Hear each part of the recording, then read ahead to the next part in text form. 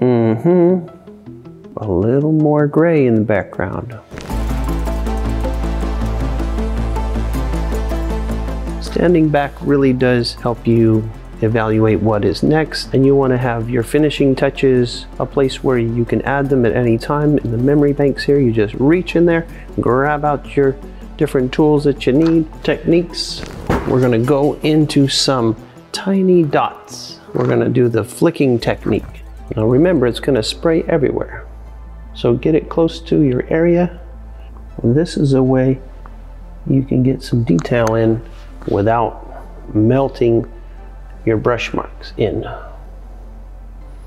So I go sideways like this, it won't go on me, it'll go straight where I want it to go. You can always test it out. See that? It goes just where you want it.